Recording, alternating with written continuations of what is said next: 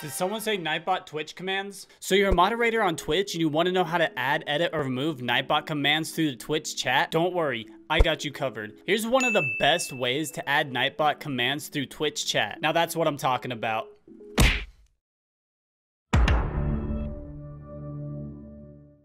Hey you guys, my name's Wesley and you're watching CCS TV. This is the series on the channel dedicated to helping amateur and beginner streamers on Twitch. Before we get into this video, make sure to hit up the like button and hit up that subscribe button. It really helps out the channel. Thank you guys. If you're checking out my Nightbot videos for the first time and you want to see more, check out the playlist above. Now I got a lot of questions in the past on some of my other Nightbot videos asking if there's a way that a moderator can add a command through Twitch. And the simple answer is yes, and I'm gonna show you how to do that right now. So if you're a moderator on Twitch or even the owner of the stream and you wanna add a command through the chat, this is how you do it. To add a command, all you're gonna wanna do is type exclamation mark add com. Then you're gonna wanna put a space, and this is where you put the actual command. I'm gonna go ahead and make a test command.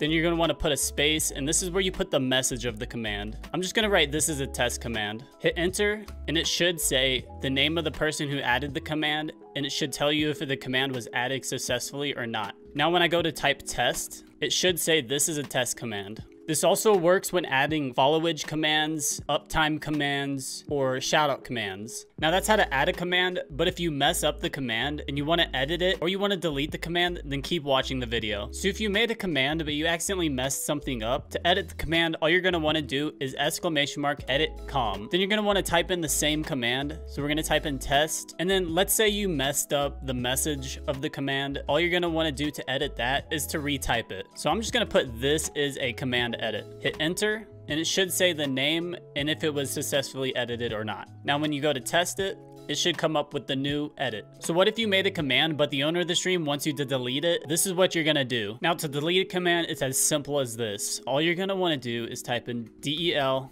com and then the name of the command, which was test. Hit enter and it should say the command was deleted successfully. And there you have it. That's how to add, edit, or remove Nightbot commands through Twitch chat. Pretty easy, right? And if you're interested in my full Nightbot tutorial, check out the playlist above. There's a lot of helpful videos in there on how to add commands or how to even set up Nightbot from the start. If this video helped you guys in any way, leave a comment down below and let me know.